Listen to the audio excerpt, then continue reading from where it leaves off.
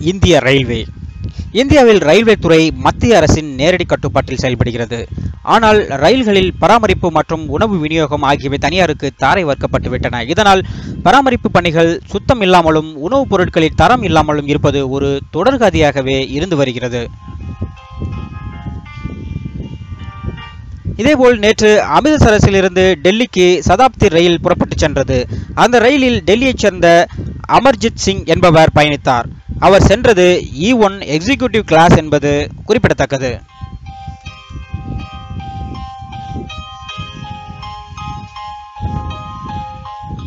அப்போது இ one executive கிளாஸில் இருந்த அமர்ஜித் சிங் மதிய சாப்பாடு வாங்கியுள்ளார். சாப்பாடுடன் தால் என்று சொல்லப்படும் பருப்பு குழம்பும் கொடுக்கப்பட்டுள்ளது. அந்த பருப்பு குழம்பில் ஒரு கரப்பான் பூச்சி இறந்த நிலையில் இருந்ததை பார்த்து அதிர்ச்சி அடைந்துள்ளார் சாதாரண வகுப்பில் சென்றால்தான் இந்த நிலைமை வரும் என்று நினைத்தால் இ ஒன் எக்ஸிக்யூட்டிவ் கிளாஸிலும் இதே நிலைமையா என்று வருத்தப்பட்டுள்ளார். இதனால் மனம் தாங்க முடியாமல் அதை போட்டோ எடுத்து சமூக வலைத்தளங்களில் ஷேர் செய்துள்ளார்.